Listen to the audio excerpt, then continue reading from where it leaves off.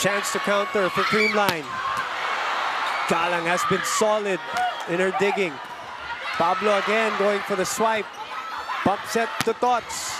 Galang was there again. Kim on two.